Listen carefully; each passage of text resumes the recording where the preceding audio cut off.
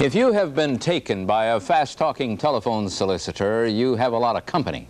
Some investigators say so-called boiler room operators bilk the public of more than $100 million a year. Authorities say the best defense is for you to recognize how those boiler rooms operate.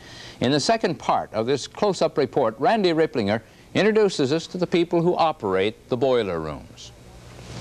Here, this is for you. Some guy wants you to buy some pens, and he says he's got thousands of dollars of prizes to give you. Well, these are these are paper mates, not pens. I'll do this. I'll send you a hundred of them for $139. If you love the prize and the paper mates, we'll leave it up to you to get back to us for the other 150 that we have on the shelf. And if you want to buy, he'll send the package COD.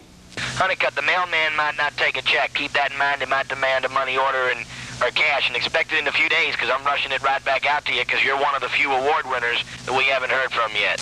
Why a money order instead of a check? You might decide to cancel your check when you open the package and find out what you really got.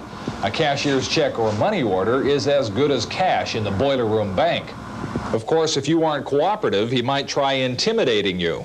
Walker, are you a Negro? No, I am not. Because you sound like one. Do you want... Uh, that, that, I can't help how I say I'm... Do you want me to give your prize to a Jew? I don't care who you give it to. And if that doesn't work, he'll at least send you away insulted. Can I tell you something? I think you're an a. Well, I mean, no, but I mean that so sincerely. Dude, and I'm not saying this to be rude. You are a I'd come there and say it to you too, but who the heck wants to go to Garner, North Carolina? you gotta be a real that boiler room operator was caught and convicted, but there are hundreds still operating. Karen Moore got a call from one of the Southern California boiler rooms. She was offered some office supplies and a chance to win a piano, a computer, a big screen TV, or a grandfather clock. The solicitor pushed the prizes more than the product.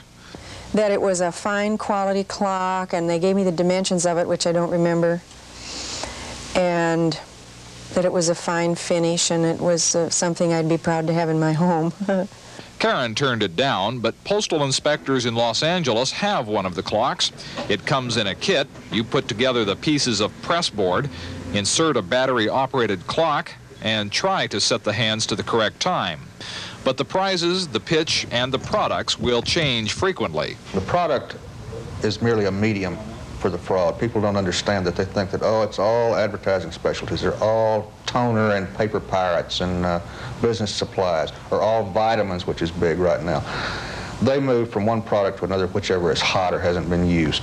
Even to get the prize, the victim must often send more than $100 to a California address. This is the office, and this is Suite 77 for American Marketing Company.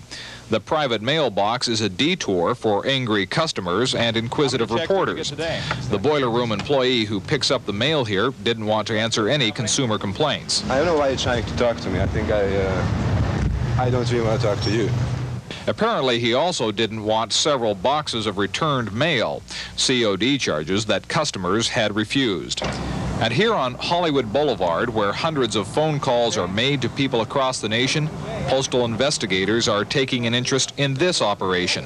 I just wanted to speak with Rhea Rogers. Okay, there's around? nobody. No, I'm asking you to walk How outside. Rhea, Rhea Gold, is she around? But without a search warrant, any other visitors are promptly kicked out.